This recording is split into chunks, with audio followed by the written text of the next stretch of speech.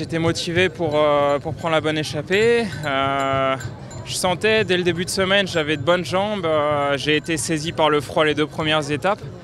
Malgré ça, je savais que la forme était vraiment bonne et je voulais, je voulais créer une opportunité aujourd'hui. Et voilà, j'ai tout tenté pour, pour aller gagner. je pense avoir eu une bonne gestion au sein de l'échappée notamment en imposant un tempo, en fatiguant euh, mes, sept euh, camarades euh, dès le début. Et voilà, le peloton ne nous a pas donné notre chance, mais voilà, comme je l'ai dit à l'instant, le vélo sourit peu aux audacieux. c'est souvent les mêmes qui gagnent, que ce soit les sprinters ou les, grands champions de la montagne. Mais voilà, il faut, essayer quand on a de bonnes jambes. Et j'ai pris du plaisir aujourd'hui, c'est le principal. Voilà. Vous étiez seul devant dans le dernier col, euh, dans le pilon. Vous pensiez que c'était possible encore? J'entendais que ça revenait fort derrière, donc euh, voilà, je savais que ça allait être compliqué, mais je me sentais, euh, je me sentais mieux que, mes, autres coéquipiers, collègues d'échappée, donc, je voulais saisir ma chance.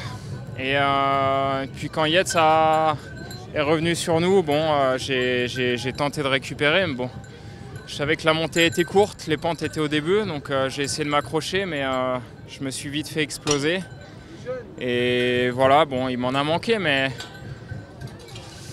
j'avais de bonnes jambes parce que je finis pas. Euh, enfin, je pense avoir une bonne gestion tout au long de l'étape et c'est ce que je retiens et j'essaierai de, de créer d'autres opportunités parce que c'est vraiment grisant de sentir la victoire si proche si proche et si loin à la fois, mais voilà, bon, j'ai essayé.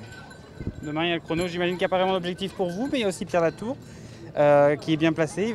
Il va, lui falloir des repères. C'est le rôle des équipiers. Souvent, c'est ce que vous allez tenter de faire Ouais, je sais pas si s'il se fiera à mes temps de passage, je pense pas. Mais euh, on, va rester on va essayer de rester appliqué, euh, notamment par solidarité pour, pour nos deux leaders qui, sont, qui, qui se doivent d'être concentrés, de faire un bel exercice parce que je pense que là il y a peu d'écart encore aujourd'hui et ça se jouera euh, comme souvent sur l'exercice chronométré. Donc voilà, quant à moi je vais, je vais essayer de, rester appliqué puisqu'après j'ai huit jours de repos avant de me reconcentrer sur les objectifs estivaux. Donc, donc voilà, il reste plus qu'une journée de vélo avant la coupure, donc il faut rester appliqué encore.